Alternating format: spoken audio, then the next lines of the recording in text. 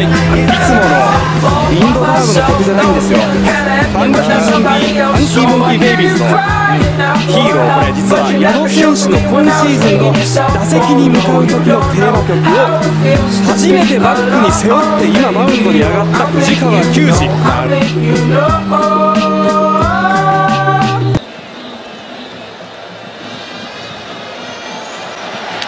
うわ。行